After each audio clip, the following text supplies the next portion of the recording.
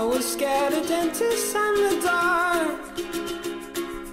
I was scared of pretty girls and starting conversations. All my friends are turning green. Yeah, the magician's assistant in their dream.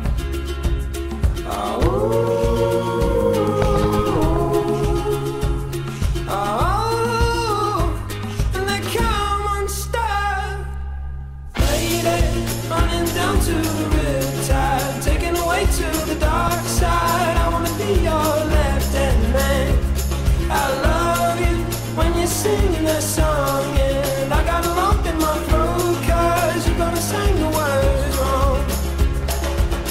This movie that I think you like.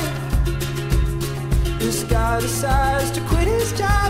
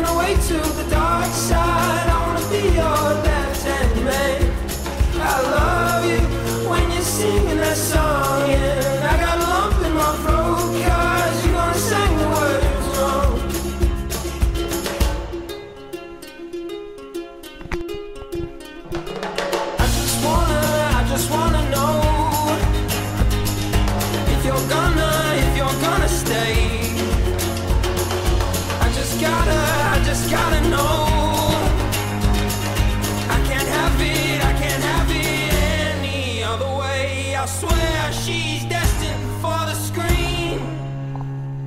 Closest thing to Michelle